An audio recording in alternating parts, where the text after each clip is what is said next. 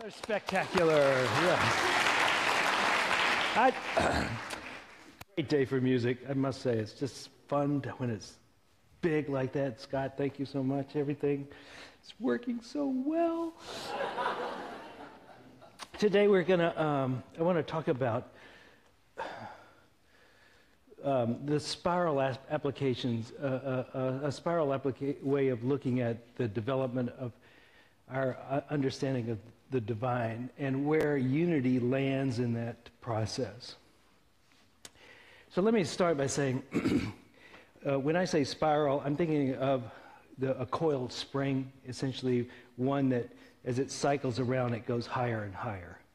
And uh, if you were with me anytime earlier this week, you've heard me give this talk already.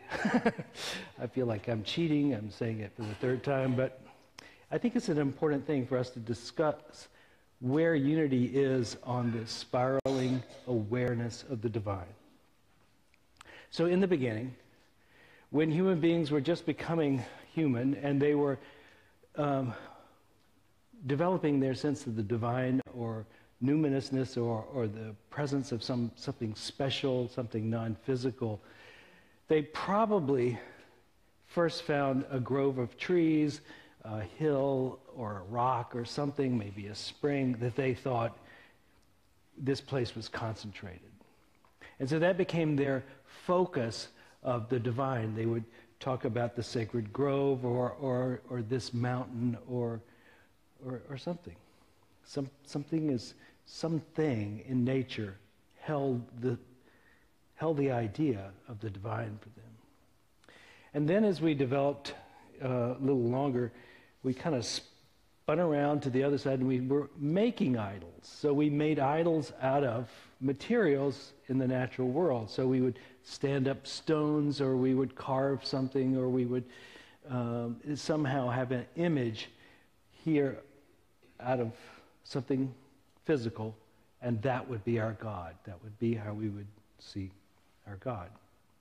Then, as society became more numerous and we bumped into each other, we realized that our clan God, which was the God at that time for us, but now we were contacting other tribes and other groups, and they had gods too. So then there were many gods. So let's say you're at, come at the time of the Greeks, and they have uh, all these different gods and different statues, and the Romans let anybody have their god as long as they would also worship Roman gods. And so we were kind of a pluralistic society. But there was also growing in another part of the world this idea of monism, this one God, only one, one God, right? Monas, uh, monotheism, excuse me, one, one, one God. And that's a kind of a, now we're back to this, our God is now everybody's God. We've spiraled around, right? We're back to there's only one. First there was one, then there were many, now there's one again, but at a higher level, right? And then we spiral around again. So we, let's say that was Judaism, and then we come around uh, in the around the uh, time of the prophets, and then we come around to Jesus, and Jesus becomes the new idol. He is God incarnate, right? So this is where God is, right here, where Jesus is. I'm sure there's more theological nuances to that, but that became part of what? We captured the whole idol thing. Again, in, embodied in one person was Jesus. And so that worked for a while. And then we keep cycling around, and, and people, many of us on the path, have kind of started out with this is where we were in our cultural development. We, we started right here, and Jesus was here. It was Jesus was God, the Son of God, or God, depending on how we were saying it at the time as we keep moving, though, many of us threw Jesus out with the bathwater, right? We went, well, there's more to it than that, right? He's just a person, maybe a great person, maybe an enlightened being, maybe a highly charged, wonderful Superman somehow, but God is something bigger. And then we, so do you see how that works? Now we're back to the one thing again. We've kind of cycled around it, but we keep all of those things with us as we go, right? So um, We still think that you can have healings at Lourdes, right? Special spring, that works. Or we still have our amulets or our crosses. We still have our little Jesus on a cross, these idols. No offense to anybody, but we hold reverence for that in some way. We have Jesus, you know, we, we still have Jesus as the divine one, as you know, we still have monism, we still have, a, a, a, we recognize God in lots of different places. We keep spiraling around. We keep adding, even though we might be moving higher.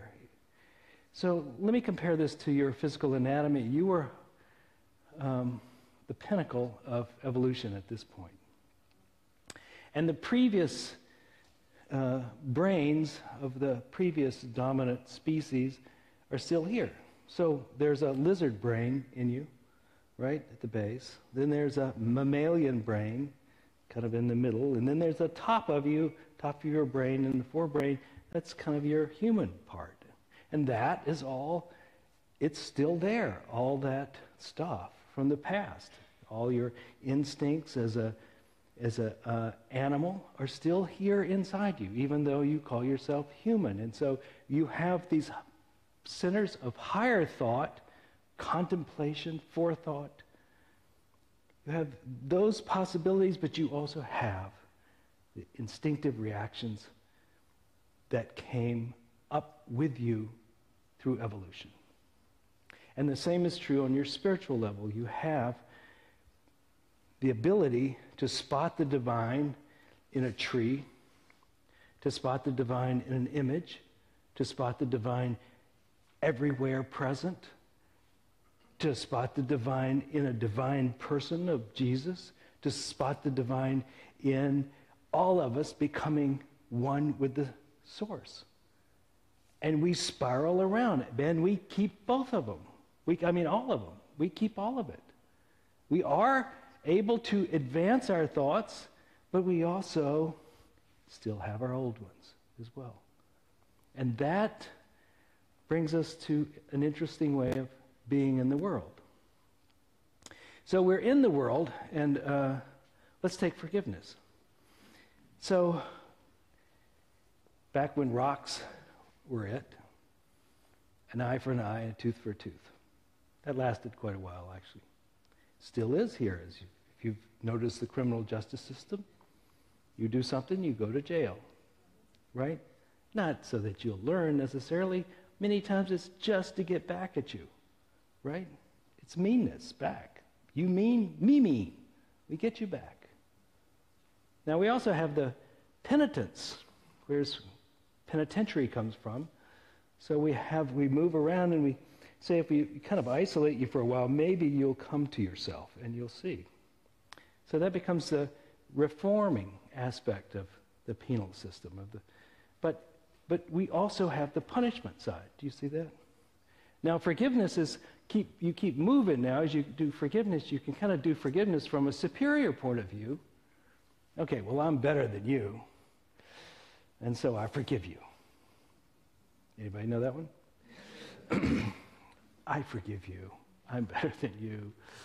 And then we come to the one where we begin to see that no, we, we actually have many of the same qualities, just not expressed in that very moment. Sometimes we, we would never express it or have never expressed it, but it is still, it lays in potential within us. And it's not surprising if we've ever had the same thought that maybe we would like to do it. And so the forgiveness becomes more like, uh, one of, you're one of us. We, we both do that. And then if you keep spiraling around, you kind of come to the point where you begin to see that there's real innocence there anyway. And even spiral around even further, and you begin to see that maybe there's really nothing to forgive in the first place. That what really was it was the fault was our sense of separation from the divine. And you triggered a deeper, more painful experience of that by what you did. And so, really, it's with us to remember who we really are. So, carrying that thought about who we really are, here's how we go in the spiral of who we are we are the body, we are just the body. Survival is all about the body. then survival becomes not only about the body, but about our position in society. How many of us would go to, would, if you said something about my mother, right? Insults become, now we're moving up to the level of social importance here. So it was all about the body at some point. Now it's about your social position. Now, as you keep moving, you'll see that um, who you are also becomes you are your thoughts and emotions, and your, your thoughts and emotions are yielding to this idea that you might be a soul as well. And so now you're not just the body or just your social position, but you have an internal life, and that's who you are. And then it spirals around until you become a higher understanding of that, and you begin to realize that, hey, maybe you're really connected with everything, and that there is a, a universal consciousness that you are part of. But you kind of get that on one level, but you don't get it all the way to the bone. And then you have a spiritual awakening, and you realize there is only one here, and you are part of it and that, that this separate sense of self has been resolved. And this separate sense of self is the source of your existential suffering from the moment you thought you were a body to now, because all that time you thought you were separate from God. But once you reunite with God, now you do not have that sense of a separate sense of self, and all is well, and all are forgiven all the way around and back. Right? So, who you identify as probably determines how you treat the world. Just using forgiveness as one example. And where you put your efforts. And where you put your efforts in life. So at one point, when you're starting out, it is, you are, as a human being, as an individual. You start out with the same idea. I'm just running around here on my body. And then somebody tells you, oh, no, no, you have a soul. And then you move around and, and you move it, right? And, and you are progressing. But at the same time, you can drop right back down to it. Stub your toe. Who is their soul at that moment? That has captured your imagination, right? Same is true social situation. Someone insults you in front of everybody and you're standing in the community falls like a stone. Who are you in that moment? You're that fallen angel. So hurt. Why are you hurt? Because you forgot you really were the one and that you could be insulted.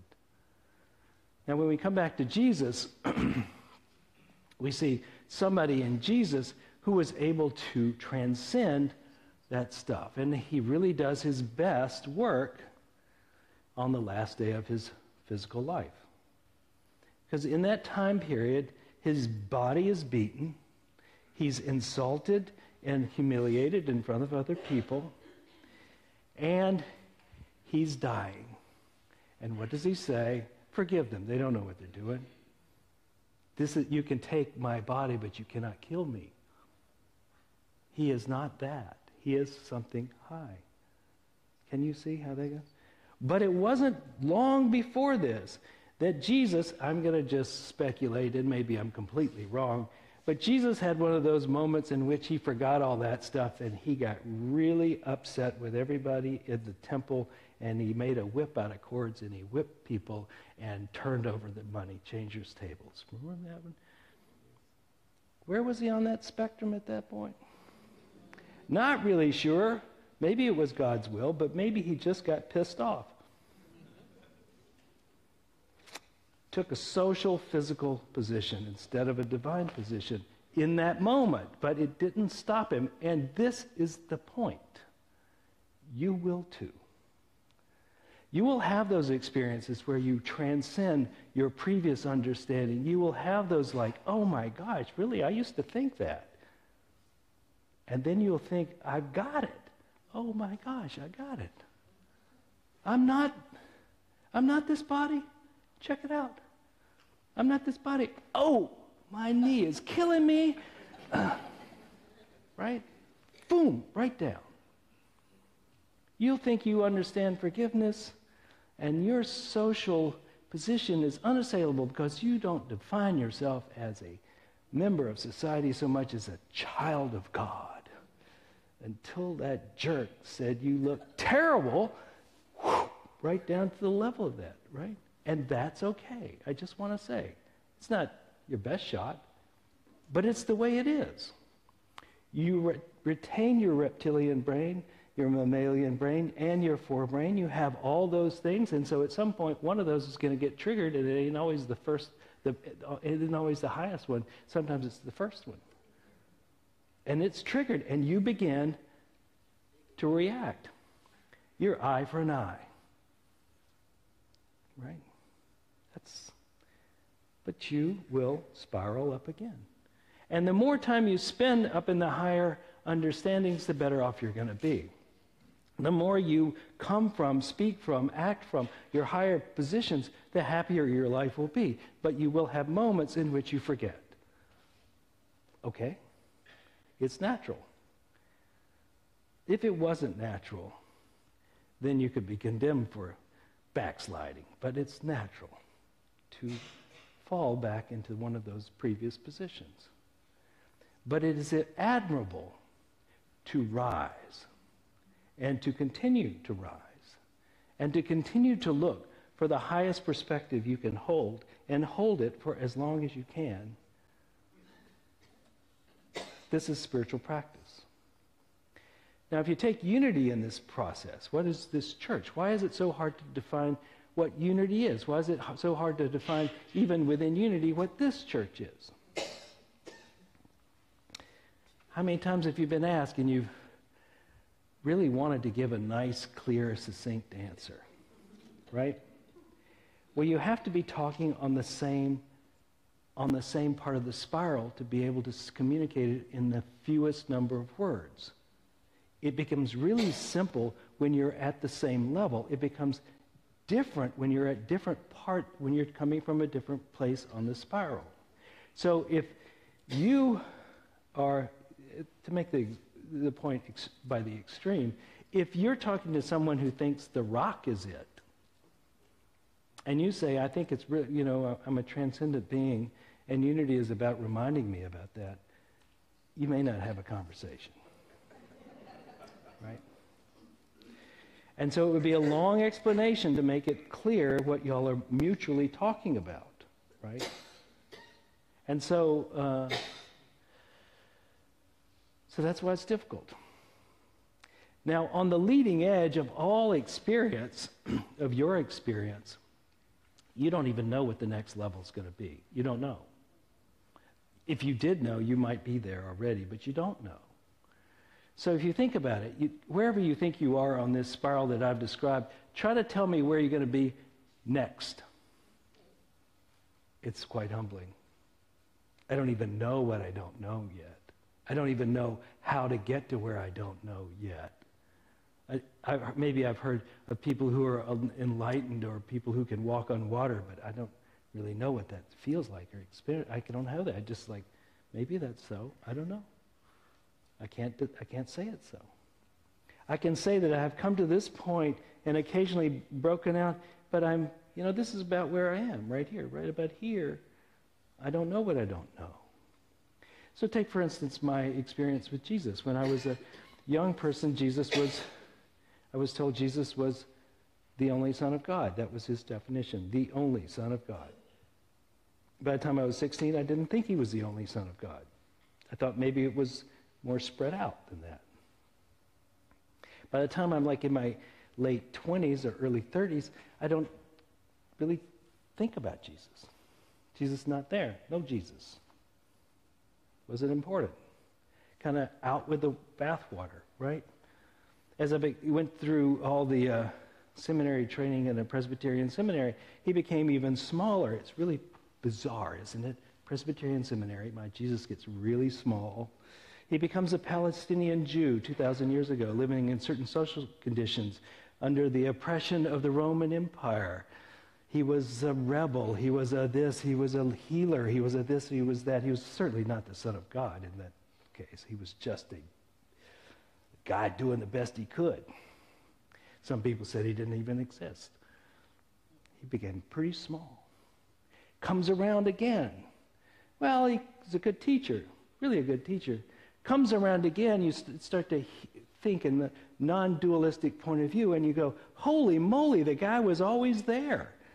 He was one of these people who saw from a different perspective. Go a little further, and he's going, Look, I am God, and so are you. Holy moly, the whole column is expressed in this guy. He is at the top as far as I have met so far. There he is.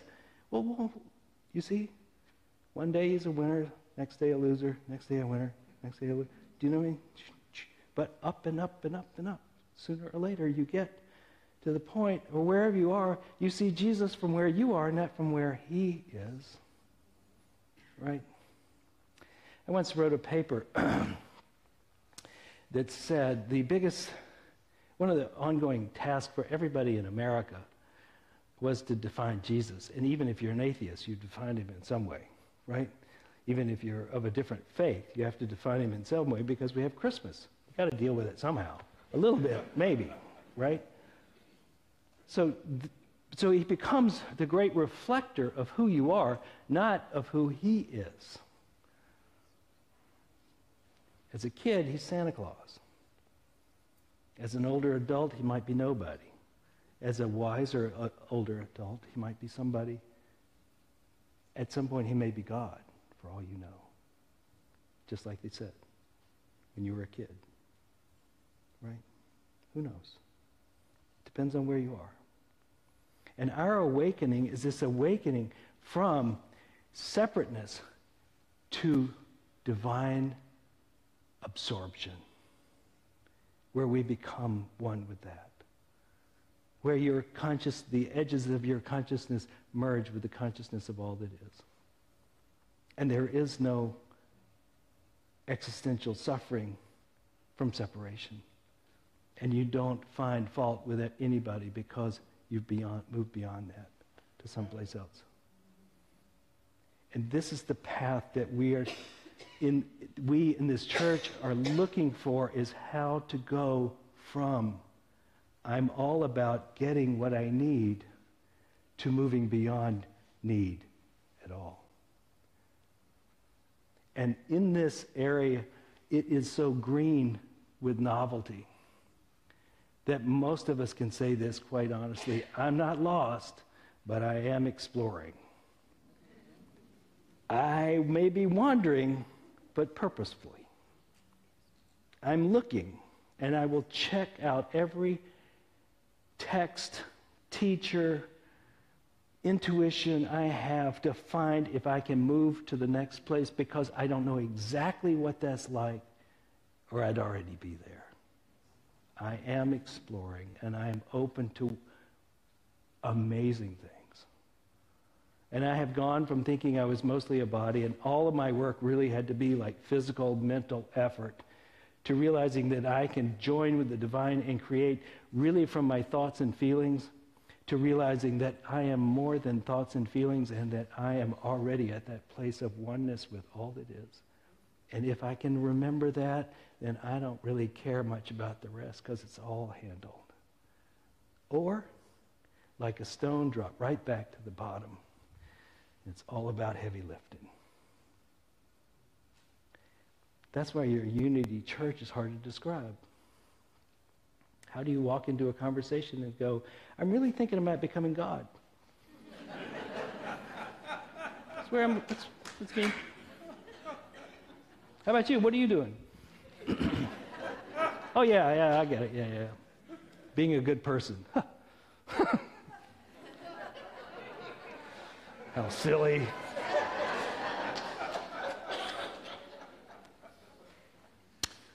so, you're in a beautiful place. This is a, an amazing place because the way we have uh, tried to design it is that you're accepted wherever you are on this path, on this spiral path. And we don't expect anyone to be at the very top all the time. So wherever you are, you're accepted. And as, um, as we have said in other times, in other places, we love you just the way you are and accept you just the way you are. But we're not going to leave you there. And that's the blessing.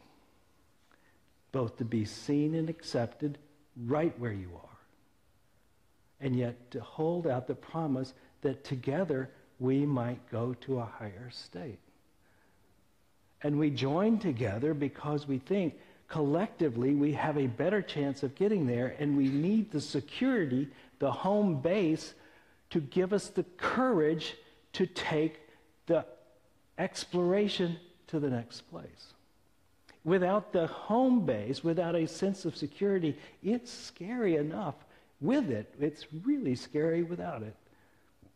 And without some people that go, yeah, I kind of get where you're at. Completely confused and lost, right? That's how you feel? Good, you're probably halfway there. Right? Because some of them have been there before us. And they, they go, yeah, yeah, I've seen this before.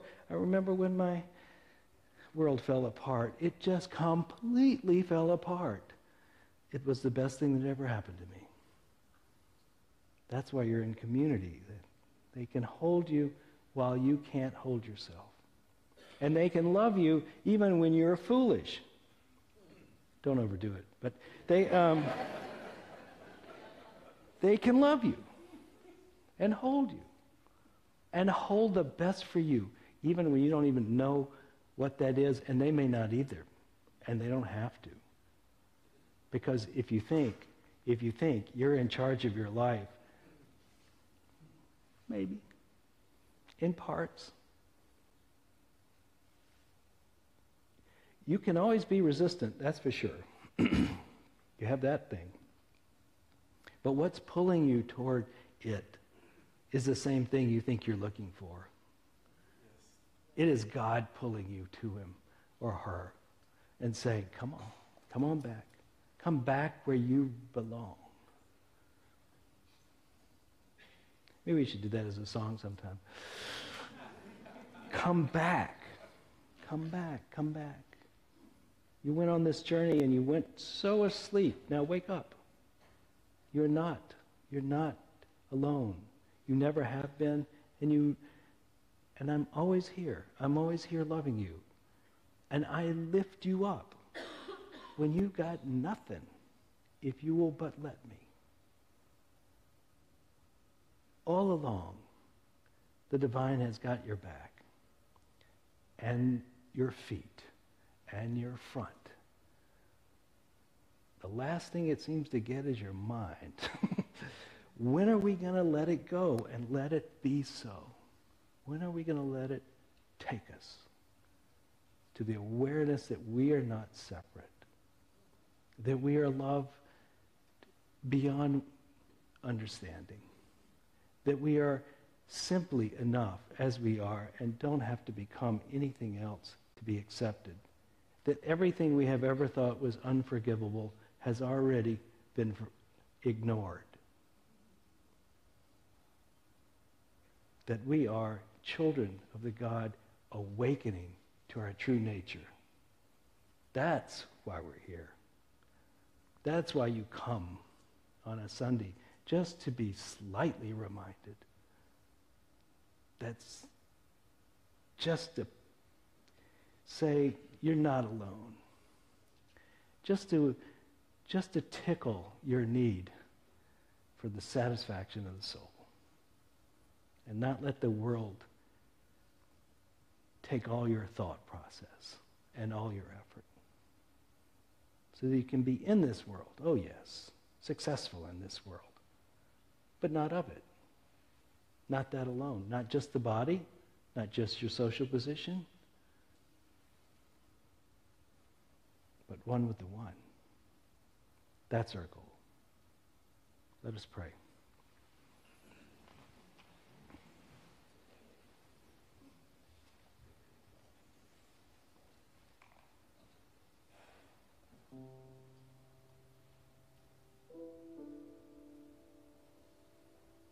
all about you.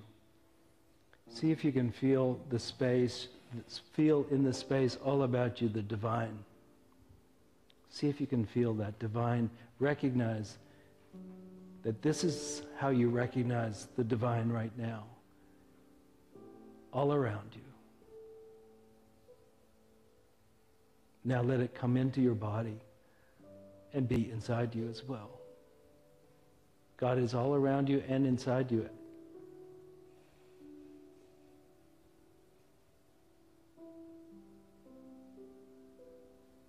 this practice is saying, I, I, I, I, this, I, that. This I can relax.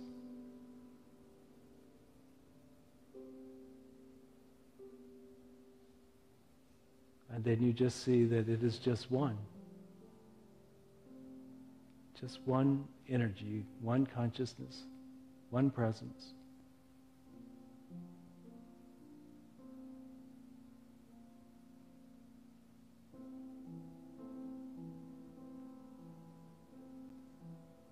Granted, it has a focal point right where you sit.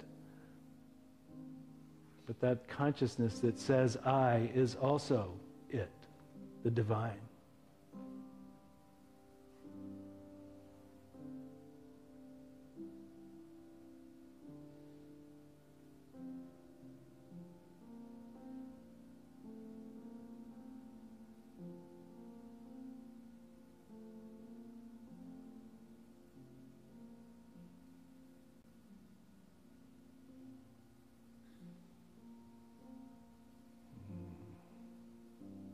Open and expand.